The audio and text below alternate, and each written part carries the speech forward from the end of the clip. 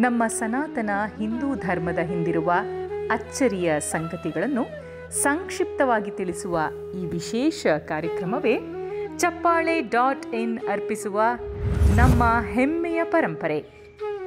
ಈ ಸಂಚಿಕೆಯಲ್ಲಿ ನಾವು ವರಮಹಾಲಕ್ಷ್ಮಿ ಹಬ್ಬದ ಕುರಿತು ತಿಳಿಯೋಣ.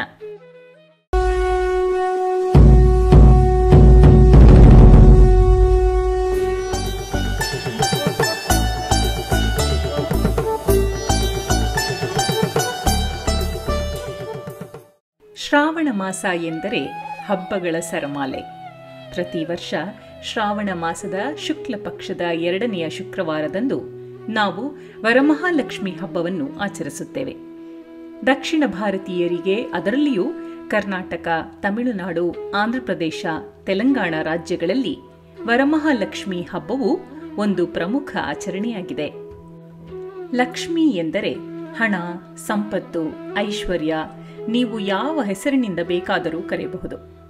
ಎಂಟು ಸಂಪತ್ತುಗಳು ಎಂದರೆ ಸಿರಿ, ಭೂಮಿ, ಸರಸ್ವತಿ, ಪ್ರೀತಿ, ಕೀರ್ತಿ, ಶಾಂತಿ, ಸಂತೋಷ, ಬಲ.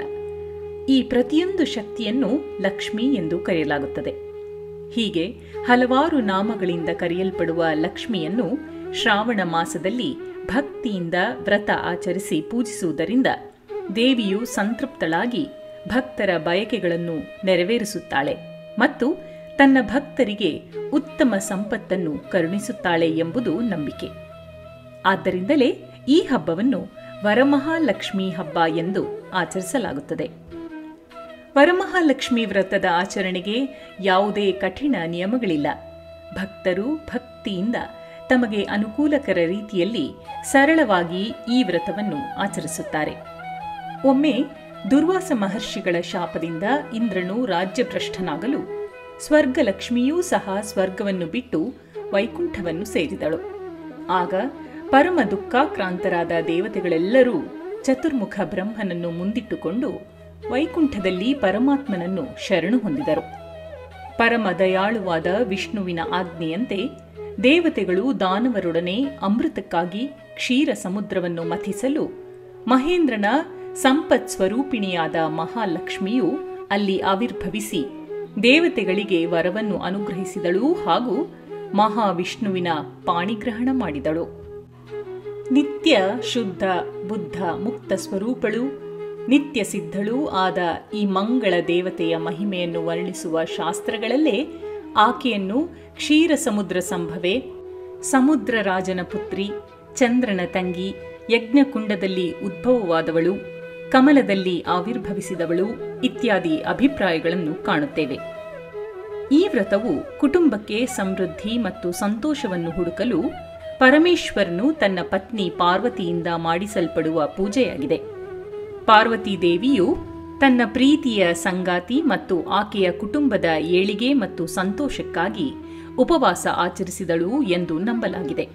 ಮತ್ತು ಅಂದಿನಿಂದ ದಕ್ಷಿಣ ಭಾರತದ ಉದ್ದಗಲಕ್ಕೂ ಮಹಿಳೆಯರು ಶ್ರಾವಣದ ಶುಕ್ಲ ಪಕ್ಷದಲ್ಲಿ ವರಲಕ್ಷ್ಮೀ ವ್ರತ ಅಥವಾ ವರಮಹಾಲಕ್ಷ್ಮೀ ವ್ರತವನ್ನು ಆಚರಿಸುವುದು ಸಂಪ್ರದಾಯವಾಗಿದೆ. ಅಷ್ಟು ಮಾತ್ರವಲ್ಲ, ಈ ವ್ರತವನ್ನು ಸಂತಾನ ಭಾಗ್ಯಕ್ಕಾಗಿಯೂ ಕೂಡ ಆಚರಿಸಲಾಗುತ್ತದೆ. ಈ ಹಬ್ಬವನ್ನು ಮನೆಯ ಹೆಂಗಳೆಯರು ಅತ್ಯಂತ ಸಂಭ್ರಮದಿಂದ ಯಾವುದೇ ಭೇದ ಭಾವವಿಲ್ಲದೆ ಆಚರಿಸುತ್ತಾರೆ. ಮನೆಯಲ್ಲಿ ಸುಖ, ಸಂತೋಷ, ಸಮೃದ್ಧಿ ನೆಲೆಸಲೆಂದು ತಳಿರು ತೋರಣಗಳಿಂದ ಅಲಂಕೃತವಾದ ಪೀಠದಲ್ಲಿ ಲಕ್ಷ್ಮಿಯ ಕಳಶವಿಟ್ಟು ಆಭರಣಗಳನ್ನು ತೊಡಿಸಿ ಬಣ್ಣ ಬಣ್ಣದ ವಿವಿಧ ಹೂವುಗಳಿಂದ ವಿಧ ವಿಧದ ಅಲಂಕಾರಗಳಿಂದ ಶೃಂಗರಿಸಿ ಪೂಜಿಸುತ್ತಾರೆ.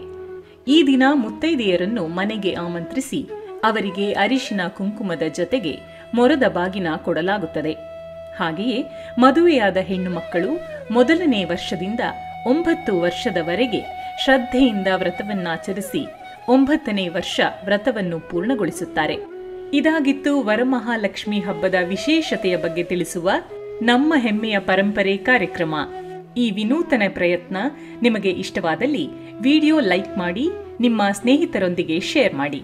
ಇಂತಹ ಮತ್ತಷ್ಟು ಸಂಗತಿಗಳನ್ನು ತಿಳಿದುಕೊಳ್ಳಲು ಈ ಕೂಡಲೇ ಚಪ್ಪಾಳೆ ಡಾಟ್ ಇನ್ಗೆ ಸಬ್ಸ್ಕ್ರೈಬ್ ಆಗಿ ಬೆಲ್ ಐಕಾನ್ ಒತ್ತಿ. ಧನ್ಯವಾದಗಳು.